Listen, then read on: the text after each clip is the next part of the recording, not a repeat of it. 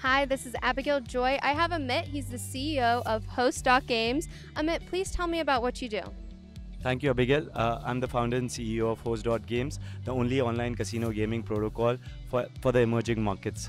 We are currently the fastest growing uh, online poker platform in India, and we wanted to take uh, our uh, gaming platform on top of the blockchain, and that is what we are doing.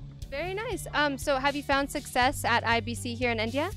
Uh, yes, the response in IBC was fantastic. Uh, uh, we, we, are a Nucleus Vision backed company, and now uh, at the backdrop of IBC, we met a, a lot of uh, potential partners as well as uh, investors who have shown great interest in our platform and they're ready to take things forward. That's awesome. Um, well, I have one more question for you. How did you first get involved in cryptocurrency? Uh, so, uh, so like I said, uh, uh Abhi is, uh, is a very close friend, and when uh, Nucleus was doing their ICO last year, uh, they, are one of the founding uh, investors in our company as well as incubators of of our company too. So when they were doing an ICO, we realized that.